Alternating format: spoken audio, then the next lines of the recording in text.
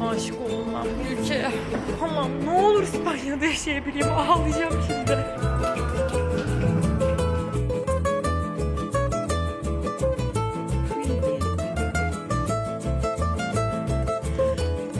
Yok ben net yanlış yoldayım. Ben şardım an itibariyle Nasret Palas'tayım.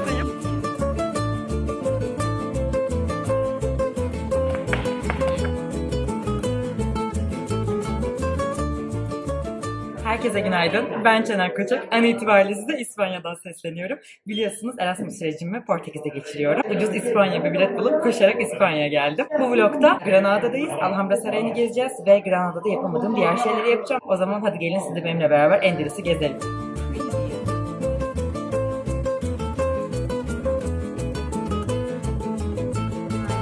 Quiero una café con leche y bocadillo tortilla de patatas grande, por favor, y una croissant de Nutella mini.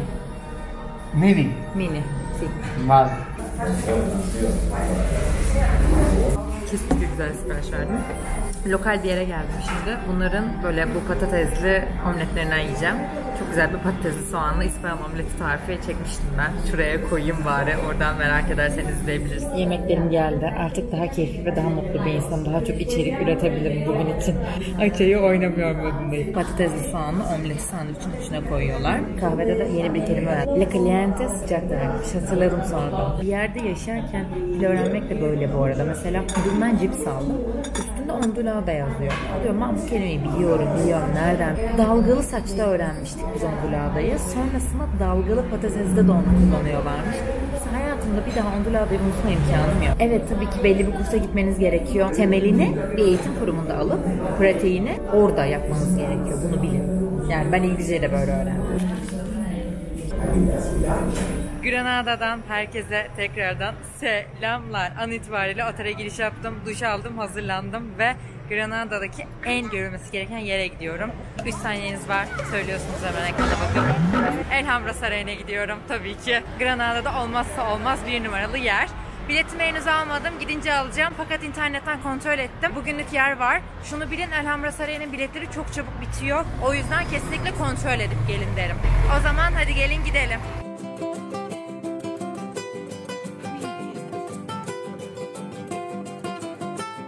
İçimden gelerek bir anma hizmeti veriyorum şimdi.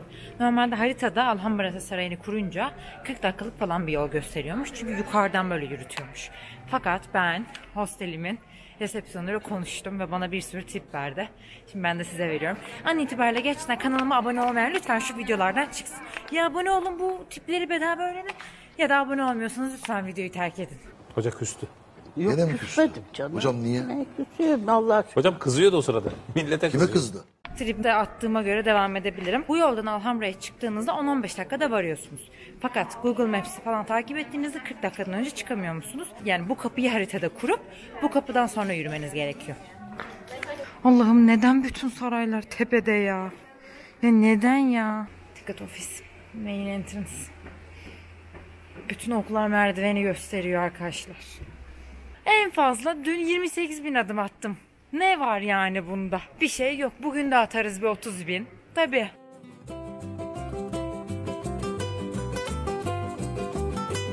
Yarı yolda bir mola verdim. Bakın dediğim buydu. Haritada ben yokum. Devam ediyorum.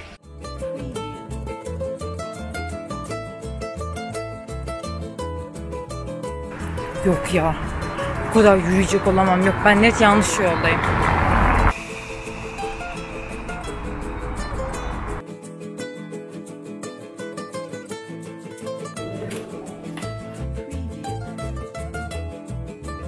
E, normalde bu Alhambra Sarayı'nın içinde Nasret Palas var. En güzel, en mimarisi özel olan yer Nasret olan ve özellikle Nasret'i görün diyorlar. Bugünkü General Time Ticket bitmiş. Ben de yarın için aldım. Zaten benim gün batımım bir tek bugün burada olacak. Yani yarın akşam Cordoba'ya geçecek. Ve bugün böyle güzel bir yerde gün batımını izleyip sonrasında akşamda e, gitmek istediğim bir yerler var. Yani daha hayırlı oldu açıkçası aslında bugünkü Nasret Palas biletinin kalmamış olması. Gelmeden önce internetten almanız çok çok daha mantıklı aslında. Alhambra giriş bölgesinden biraz yukarı doğru çıktım. Hiçbir şey yoktu böyle. Dümdüz yeşillik çok güzel bir yolda ama sonu mezarlığa çıkıyormuş. Dedim sen geri dön kızım. O da farklı bir kültür tabii. Hayatınızda hiç Hristiyan mezarlığı görmediyseniz bir kere gidin. Bakın ama ya ben kötü oluyorum. O yüzden girmek istemiyorum. Aşağı doğru iniyorum tekrardan çıktığım yolu. Başı boşuna çıktım gibi oldu ama neyse.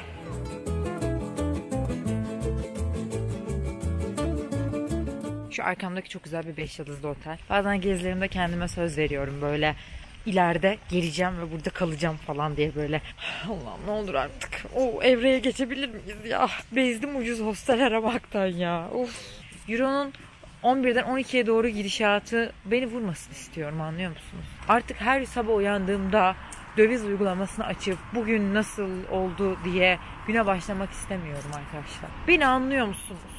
Arkadaşlar ben yanlış yoldan çıkmışım. Kadının dediğin yol şu an indiğim yolmuş. Allah'ım ya. Allah'ım ya. Üf, hep yanlış tercihler yapıyorum. Neyse şikayet etmeyeceğim. Şu sesi bir dinleyin. Arkamda görebileceğiniz 3 yol ayrımı var. Merdivenli yol. Yanlış. Orta yol. Yanlış. Şu küçük yol doğru. Dümdüz yukarı doğru ilerleyeceksiniz. Alhambra Sarayı'na en kolay, en kısa ve en az yokuşlu yol burası. Böyle tuzlu karamelli veya başka başka çeşitli kuru yemişler satıyorlar böyle nut. Bazıları fındık, bazıları kaju. Tadım aşamasına geçiyoruz.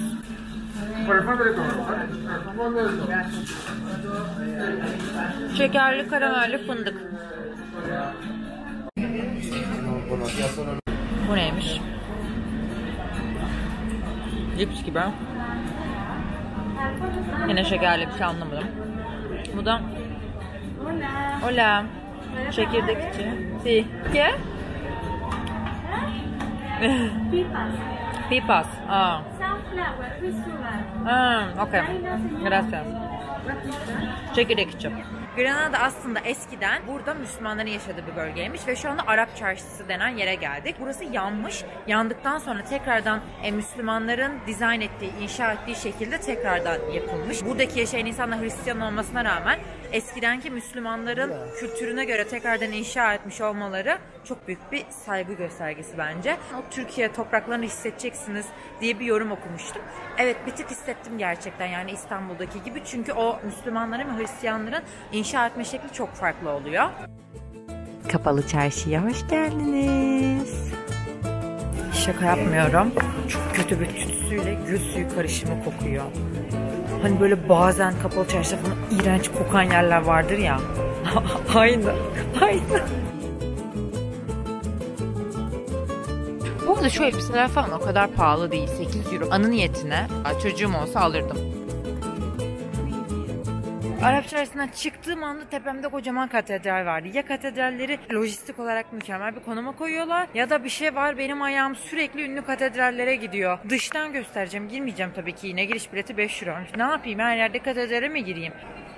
Burası ünlü Granada Katedrali. Siz Türkiye'deki camilere giriş paralı olsaydı hepsine girer miydiniz? Ama burada bu biraz ticarete dönmüş durumda. En ünlü katedrallerini hep paralı girişli yapıyorlar. Ben katedral ve şapel farkını iki hafta önce öğrendim. Bir rehberle de gezmediğim için katedrale girmeyi mantıklı bulmuyorum. Hayatınızda ilk defa yurt dışına çıktıysanız bir katedral görün. Net bu en ünlü katedrallere girin. Fakat ben önceden girdim. Artık gına geldi bana. O yüzden katedrallere girmiyorum. Yani buna açıklık getirmek istedim. Çünkü hani Müslüman değil, Hristiyan takipçim de olabilir. Ve hani katedral karşı değilim. Anlamıyorum. Mimariden anlamıyorum. O yüzden. Sıkıntı orada. Ücretsiz olsa girerim bu arada. Neden girmeyeyim? Şu kısımda Arap çarşısı var. Müslüman kültürünü yansıtıyor. Solumda katedral vardı ve onun da dibinde şapel var. Yani böyle çok fazla bir kültür karışımı ve koruyorlar. Granada'da falan çok fazla e, Müslüman popülasyonu yok ama yine de eski tarihi bir şey olduğu için bayağı koruyorlar yani. Bayağı devam ediyor bu kültür. Bence garip.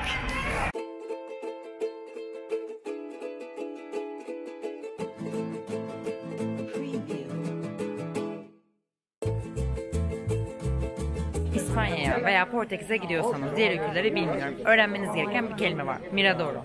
Miradoro ne demek?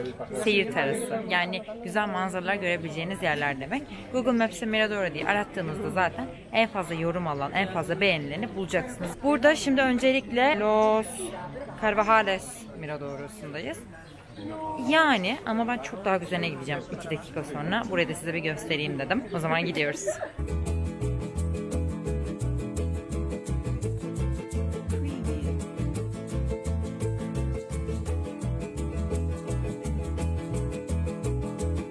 Ya bu nedir ya?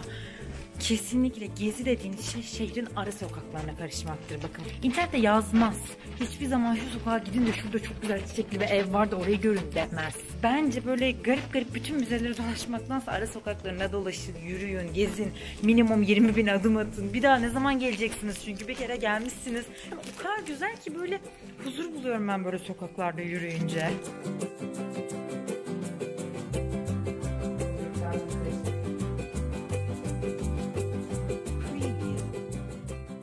Eskiden böyle 1900'lerdeki böyle durum iyi olan bir insanın yaşadığı bir evmiş ve burayı böyle kendi eşyalarıyla işte en son boyadığı böyle resmiyle falan böyle müze gibi bir şey çevirmişler. Böyle manzarası çok güzel evin bu arada. Bütün bu Elhamra Sarayı'nın manzarasını görüyor. Bayağı bütün kaleyi maşallah. Yani çok çok güzel bir ev. Yani müthiş bir ev. Şimdi bir sonraki Mirador'a gidelim ve güzel bir gün batımı izleyelim. Evet Google Maps'te 40 bin yorumlu manzara tepesine gelirseniz olacak olan budur. Karınca gibi. Aman Allah'ım.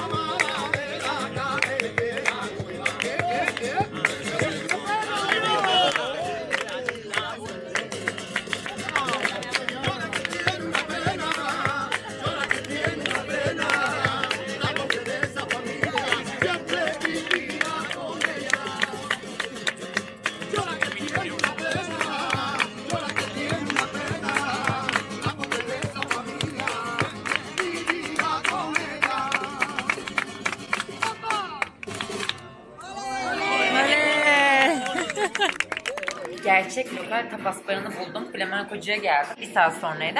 En yakındaki böyle uygun fiyatlı tapasçıya gireyim dedim. Adam menümü almadı. Dedik sadece ne içersin? Ve böyle şişe takılmış. Annemin köfte hamurunu şişe takmış. Bu şekilde kebap gibi pişirmiş. Böyle ekmek üzeri getirdi. Dedim ki abi ne yapıyorsun içimden? İşte tapas artı biraya iki buçuk euro dedi. Ben de bir tane daha söyledim şimdi. Onu da yiyeceğim ve hızlıca Flamencocuya gideceğiz. Granada'ya yolunuz düşerse buraya gelip onun önerdiği, kendi verdiği yemeği yiyin. Çok uygun fiyatlı ve çok lezzetli ve ortam böyle çok küçük o barlardan göstereyim. Bu kadar küçücük bir yer. Mekan burası. Restoranta Zoraya. Bir yere not alın. Fiyat performansı en iyi burasıymış. Bayağı araştırdım. Hadi gelin girelim. de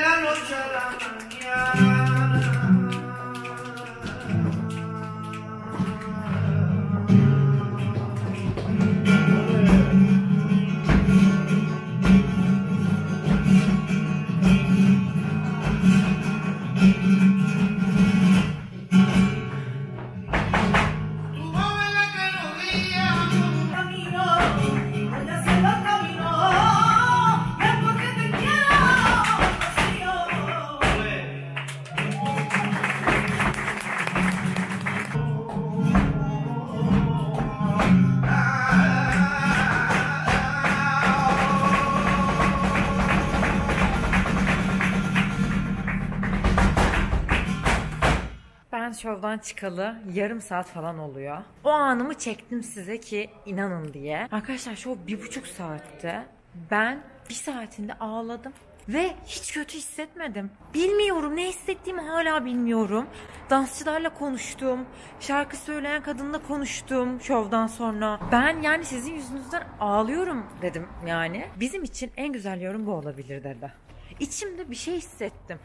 Kötü de hissetmedim o an iyi de hissetmedim ama inanın bana Bugüne kadar içimde ufak da olsa bir hüzün vardı. Yalnız olmamın getirdiği bir hüzün. Hayatta yalnız olmamın getirdiği bir hüzün. Ufak bir hüzün. O an attım o hüznü. Vallahi attım o hüznü ya anlamadım. Hala daha kollarım tüylerim diken diken oluyor. Nasıl bilmiyorum. Buna ihtiyacım varmış ya. O kadar garip bir şey ki yani Hala şoktayım. Güneşli bir İspanya sabahından herkese günaydın. An itibariyle Alhambra Sarayı'ndayım. Size günaydınlı açılışlı bir şey çekemedim çünkü uyuyakaldım. Hostelde kalıyorum. Sadece bir tane priz vardı. Vlog kameramı şarj edeceğim diye telefonumu şarj etmeyi unuttum. Yorgunluktan uyuyakaldım ve telefonumun şarjı bitmiş ve alarmım çalmadı. Bilin bakalım Nasret Palas'a giriş saatim kaçtı? 11.30 ve ben tam 11.30'da uyandım. Umarım girebilirim. Giriş saatim 11.30. Şöyle bir sıra var. Ve an itibariyle saat 12. Başardım an itibariyle Nasret Palas'tayım.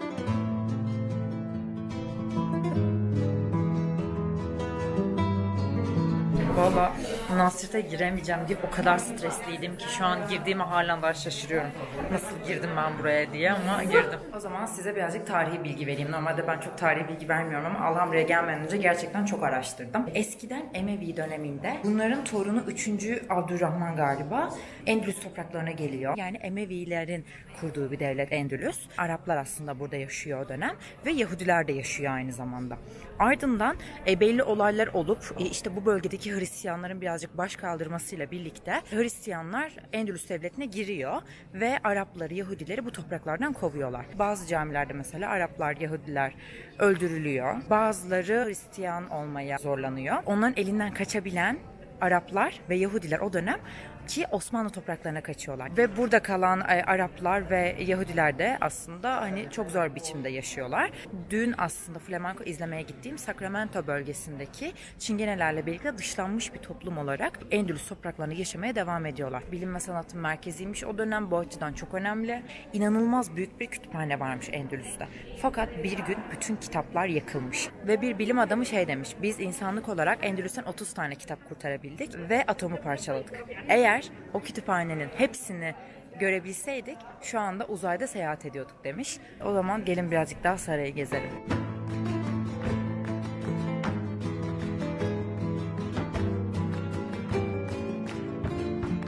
Ben mi büyülendim bilmiyorum ama mükemmel bir bahçesi var. Böyle saatlerce bakabilirim. Bütün yerleşimler Alhambra Sarayı'nı görüyor böyle kocaman çok ihtişamlı biçimde. Ve siz de bütün yukarıdan bütün şehrinizdeki yerleşimi görüyorsunuz. Yani konumu, lokasyonu inanılmaz. Burası Sırlar Odası diye geçiyormuş. Burada konuşan diğeri duyuyormuş. Diğeri konuştuğunda diğeri duyuyormuş. Bu arada bahsettiğimiz yıllar 1000 1100 falan hani. Daha geç değil yani. Annem burada olsaydı şimdi ay ne güzel çiçekler. Ay benim bir fotoğrafımı çek. Ay benim şurada fotoğrafımı çek var ya. Bu tur olurdu size 7 saat. Gerçekten bazen diyorum ki iki tek geziyorsun yani. Nasret'in çıkış kapısından çıktım. An itibariyle göreceğiniz bütün yerler artık park ticket'ıyla yani 7 euro ile gireceğiniz ve görebileceğiniz bütün yerler. Şimdi Alcazaba'ya geldim. Alcazaba Alhambra Sarayı bölgesindeki bir kale. Benim artık kale görmekten içim dışıma çıktı arkadaşlar. Ve inanılmaz bir sıra var. Yani şu anda sırada minimum 200 kişi var. Ben bunu beklemeyeceğim. Yani sabah çok erken gelirseniz buraya girersiniz. Önce Alcazaba'ya girin. Sonradan Nasret Palas'a girin. Çünkü Nasret Palas'a girerken zaten bir giriş saatiniz var. Hatta benim giriş saatim 11.30'tu. İşte 11.45, 12 gibi gittiğinizde koşarak zaten sizi içeri alıyorlar böyle acele bir biçimde. Hani aa işte geç kalmış bilmem ne değil. Bütün sırayı atlayıp sizi sokuyorlar. Bana iyi bile oldu aslında. Nasret'e girerken sıra beklemedim. Birazcık daha park bahçe görmek için zamanımı ayırmak istiyorum şimdi. Baksanıza yani bunların hepsi ticket bölgesine dahil. Yani o kadar kocaman ki bence minimum minimum 5 saat var. Nasit'e de girdiyseniz eğer. Yani bir, bir saat daha buraya maksimum ayırabilirim. Sonradan İspanyol Çingenlerin yaşadığı bir bölge var. Oraya gitmeyi çok istiyorum. Anlamadım neden. O insanlar dün flamenco'da beni çok etkilediler yani ve onların yaşadığı bölgeye gidip görmek istiyorum ben. Neden böyle oldu? Eskiden İspanyol Çingenesi miydim ben acaba falan diye düşünmeye başladım yani. Bu kadar bilmiyorum neden beni bu kadar etkilediler ama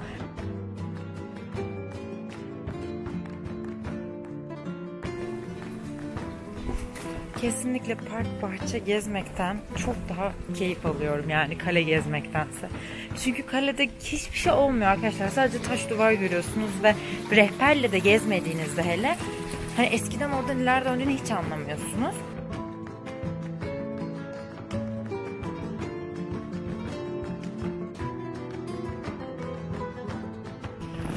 Şu an tam aklı moddayım böyle kimse yok. İnsan yok. Kuş cıvıltısı. Artı mükemmel bir park. Huzur. Şu an tek ihtiyacım olan şey bir kahve. Bu kadar.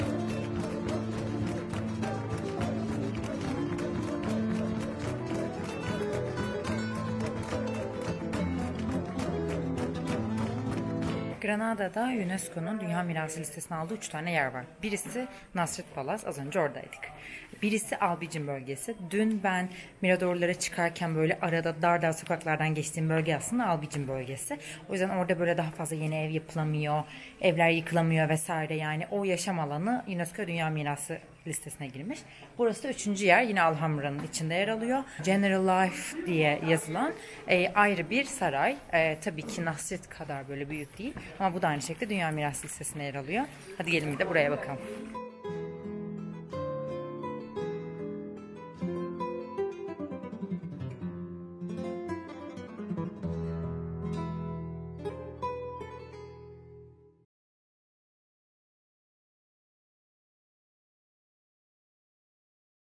Şimdi kahvaltımı ediyorum kahve ve omletimle. Çok şükür tam 4 saat sonra kahvaltı edebiliyorum. Beğendim.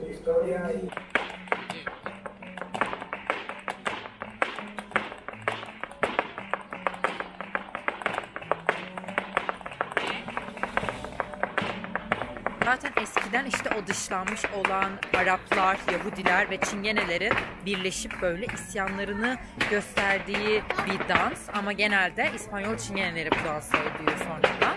Şu an yani çok içimde kaldı. Sacramento'ya gidemiyorum. Zamanım yok ve otobüsüm var. Yani en geç otobüsü zaten bileti aldım. Buradaki Çingenelerin yaşadığı bölge.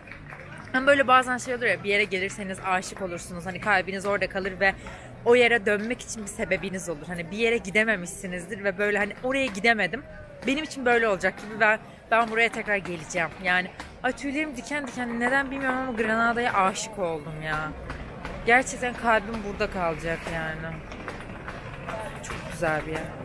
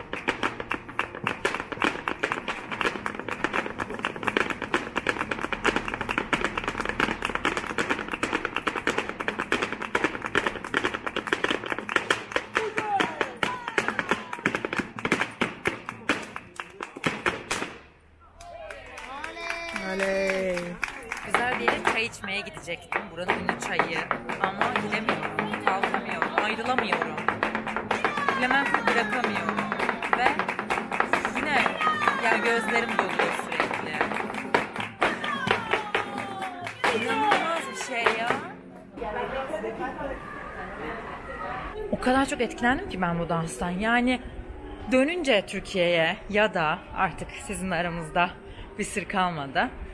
Bir dönem ben İspanya'da yaşarken en büyük hayalim bu ve bir dönem yaşayacağıma eminim. Flamenco kursuna yazılmamam için bana bir sebep söyleyin. Ben hayatımda hiçbir şey bu kadar hissetmedim. Çok yani ben Broadway'de tiyatro izlemeye gittim. Ve ben yıllarca tiyatro oynadım. Broadway'de böyle etkilenmedim. Portekiz'de Fado izlemeye gittim. Ne bileyim ya bir sürü şovlara gittim hayatım boyunca. İlk defa sürekli tüylerim diken diken oluyor. Anlatamıyorum. O kadar güzel ki. Barcelona ve Madrid'e daha yolum düşmedi. Fakat düşecek. O da size kopya olsun.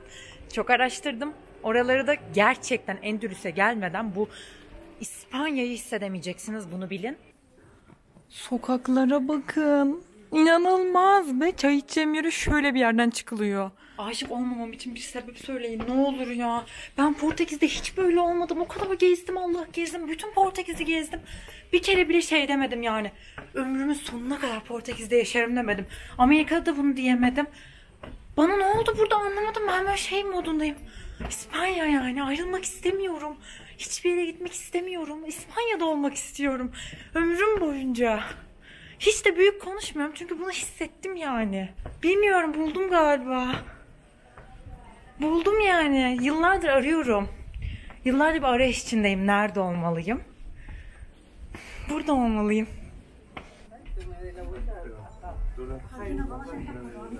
Abako Te diye bir yere geldim. Pakistani çayı söyledim sütlü. Dedim ki ben Türk'üm. Zaten alışığım siyah çaya. Bana farklı bir şey verin.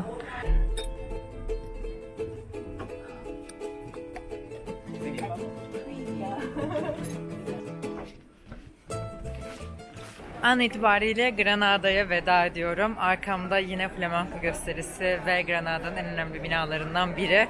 Birazdan otobüs kullanıp Cordoba'ya geçeceğim. Ayrılmadan söyleyeyim tam olarak bu hostelde kaldım. Odanın içini çekmeyi unuttum. Şuraya köşeye hemen bir tane fotoğrafını koyarım. 6 kişilik sadece kadınlara özel yataklı hostelde kaldım. Gecelik 31 euro verdim. Tercih edilebilecek bir yer. Lokasyon da gayet iyi, ücret de gayet iyi. Artık dememe gerek yok ama unutursunuz vesaire. Videoyu beğendiyseniz abone olmayı, videoyu beğenmeyi ya da bir şey söylemek istiyorsanız yorum atmayı unutmayın. Anlık takip etmek istiyorsanız da Instagram sayfamı YouTube'uma bağladım. Hemen ana sayfadan gidip takip edebilirsiniz. Sizi çok öpüyorum. Kendinize çok iyi bakın. İkinci videoda görüşürüz.